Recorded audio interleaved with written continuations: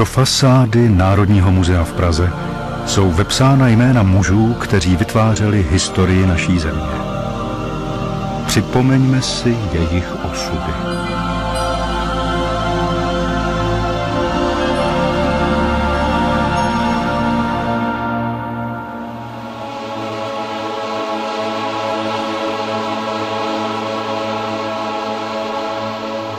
Mocný šlechtic jedné z pěti větví velkého rodu Vítkovců, Petr I. z Rožmberka. Toto je zřejmě jeho jediný portrét, jako donátora slavného obrazového cyklu mistra Vyšebrodského oltáře, spodobňujícího Kristův život.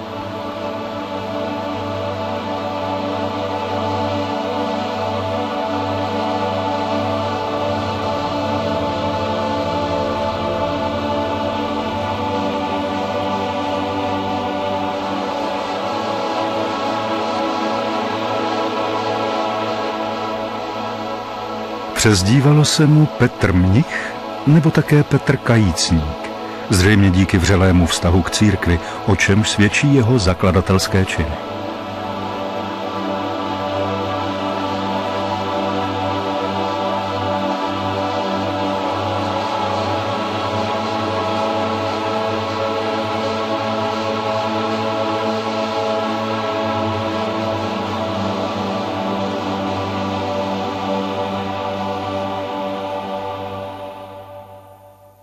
Toto gotické dílo, sestávající z devíti čtvercových desek, je pro svůj dramatický náboj i malířskou bravuru zcela mimořádné a je počinem hodným muže Petrova formátu. Petr z Rožmberka, narozený roku 1282, strávil několik let v rodovém klášteře eh, cisterciáků ve Vyšším Brodě. Získal tam zřejmě základy svého vzdělání a na vrcholu svého života se řádovému domu odměnil darováním větší částky peněz určené na dobudování klášterní křížové chodby a také klášterní nemocnice. Avšak vraťme se k počátkům jeho životní dráhy. Byla do té míry komplikovaná a složitá, že Petr Kajícník asi cítil potřebu nad některými svými skutky se důkladně zamyslet. Žil v době vlády Jana Lucemburského a Elišky Přemyslovny. Byla to doba rozbrojů.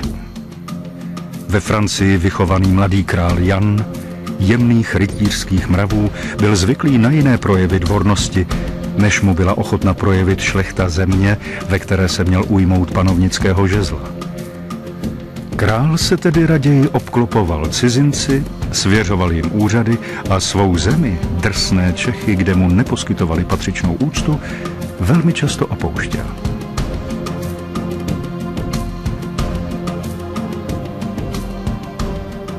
Situace to byla velmi spletitá, neboť část šlechty stála při králi, část šlechty eh, mu potom kladla odpor.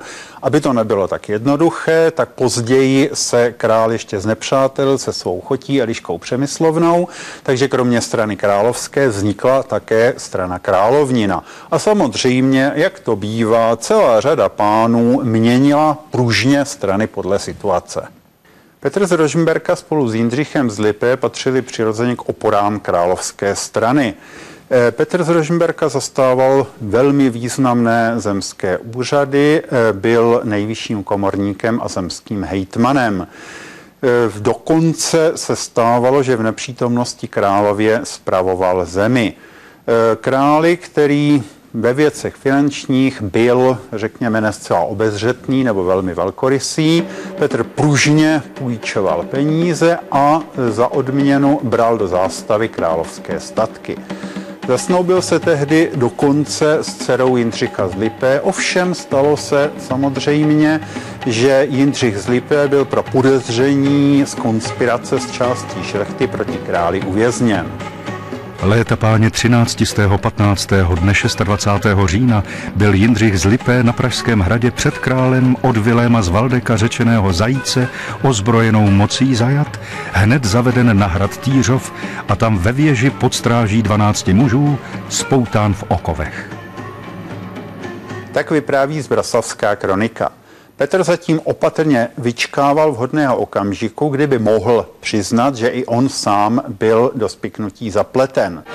Petr z Rožumberka uvažuje, že se osvobození Jindřicha z Lipé nadlouho protahuje, odmítl jeho panenskou dceru, která s ním byla zasnoubena snubním prstenem, a tak se spojil se svolením krále Jana manželským svazkem s paní Violou, dcerou vévody Těšínského, vdovou po mladém králi Václavovi.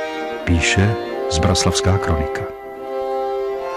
Viola prý byla vyhlášená svou krásou, Tomu se jen těžko odolávalo a také politický tah, že mocný Čech přijme spojení s královskou krví a opustí opozici proti Lucemburkovi, vyšel. Měl být i protipólem mimo manželského vztahu jiné královské vdovy Elišky Rejčky a Jindřicha Zlipé.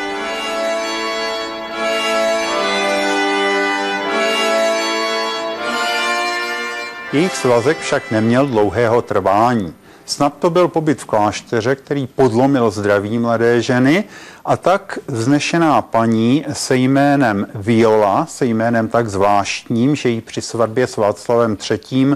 muselo být změněno na Alžběta, ačkoliv jí tak prý stejně nikdo neříkal, po roce zemřela.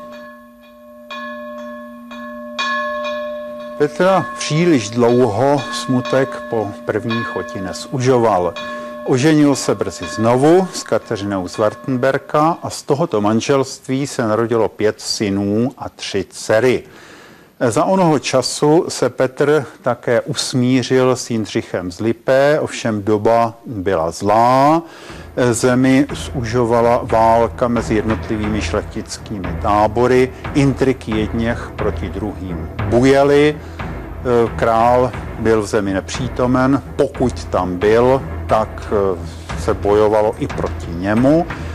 Dojednaný mír byl brzy porušen a nesnáze tak nebrali konce. A tak se tu a onde nepřátelsky utkávali houfy a strhovali se srážky a hned toho, hned onoho zahubil meč a jiný byl odveden do zajetí.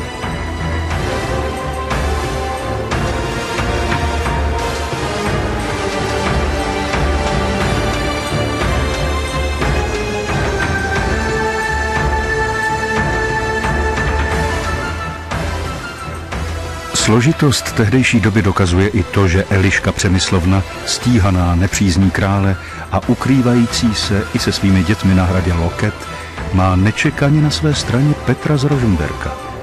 Ten neváhá riskovat své postavení a nabízí svou pomoc královně v nesnázích.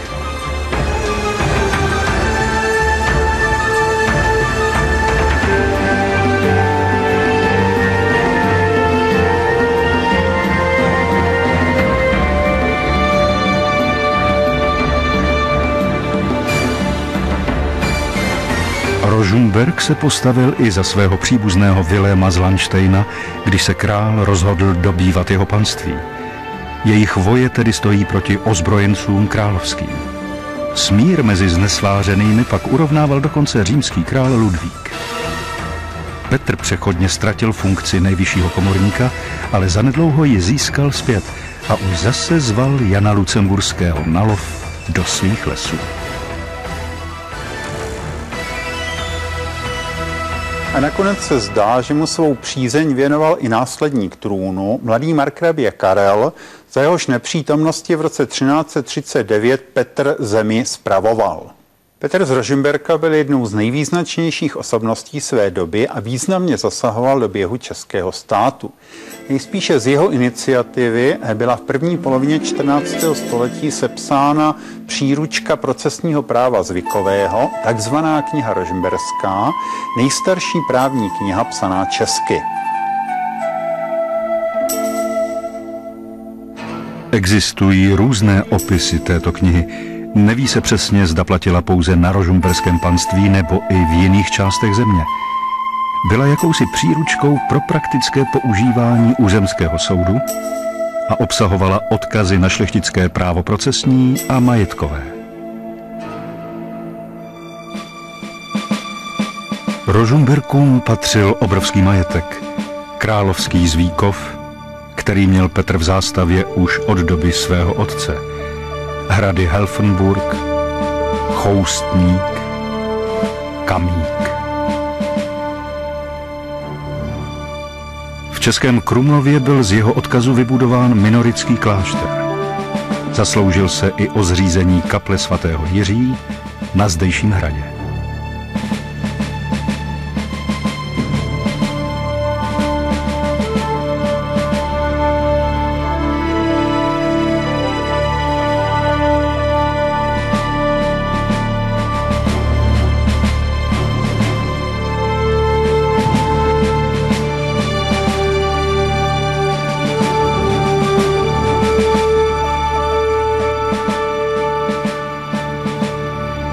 Vraťme se však ještě k výjimečnému dílu mistra Vyšebrodského oltáře.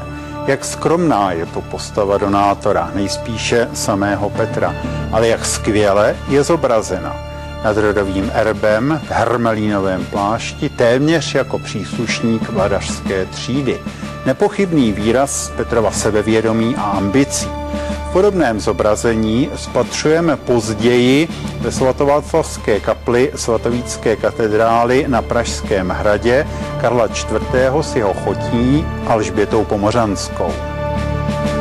A podobně i na mozaice Zlaté brány katedrály svatého Víta.